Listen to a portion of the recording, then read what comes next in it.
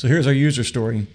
As a developer, I want to increase my skills in DevOps so that I can make my life as a developer easier. Let's do that. Hey, I'm Will Button from DevOps for Developers, and today I'm talking about as a developer, what are the skills that you need to start doing DevOps stuff and possibly either well for a couple reasons you could do it just to make your life as a developer easier or it could be that you're trying to go from the developer path into a more devops style role but you need to have the right skills in order to do that. So we're going to talk about that today. Um, first and foremost the number one skill you need is communication right? And you don't need a course to do that. You've just got to start asking questions.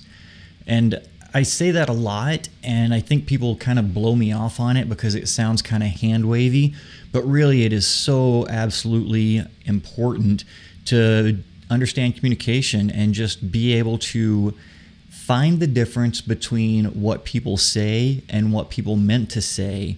And as a developer, you can relate to this because I'm sure you've had ex- um, experiences where someone has given you a set of uh, a framework or um, a set of mock-ups for an application to build and you build it and give it to them and then they come back asking for something different. And i always consider like one of the things I've, I've done is i consider version 1.0 of a software to be the place where we learned the difference between what the customer asked for and what the customer meant to ask for. So that's communication in a nutshell, but I know that's not what you're here looking for. So let's talk about that. Let's talk about the technical skills that you need. You need to have a really strong foundation in Linux administration or Windows administration. Although I I tend to lean more heavily on Linux Linux administration in a DevOps style environment. Now, there's DevOps stuff that goes on over in the Windows world, I'm just not really that familiar with it, and it's not as commonplace in the areas where I work as the Linux skills. So let's talk about Linux skills. You need to have like a good solid foundation on Linux system administration. You know, things like um, what are the services? What is a service? Which services do you need? How do you create, start, stop services? How do you build a Linux server from scratch? And how do you know if that thing's operating like it's supposed to? You know, all of those things are just fundamental skills that sysadmins have and the things that they do every day. And it's important in the world of DevOps because you're, as the DevOps person, you're that bridge between getting the code from the developer's workstation into production.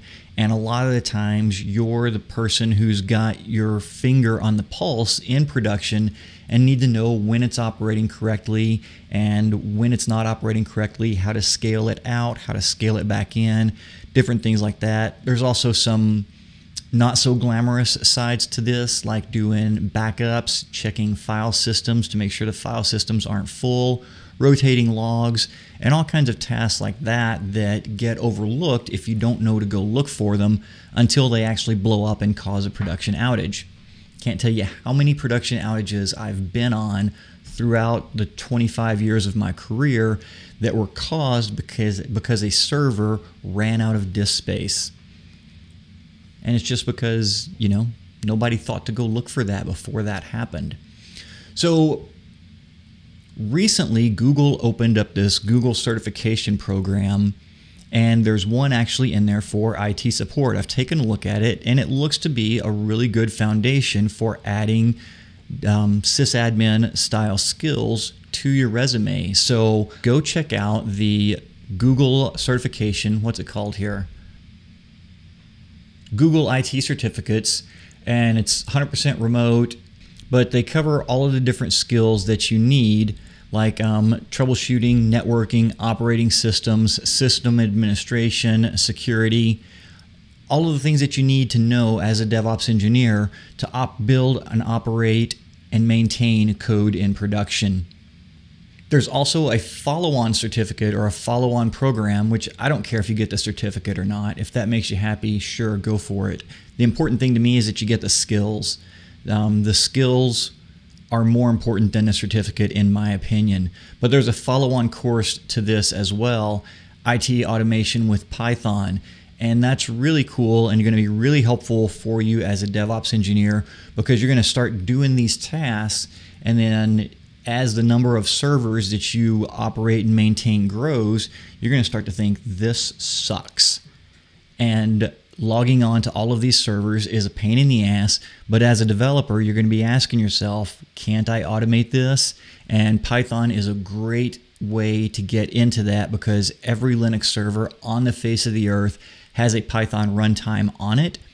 And so you know that you can write Python code and execute it on any server and take care of a lot of these routine, mundane tasks that you're responsible for now via automation and writing code, which gives you scalability and faster response times.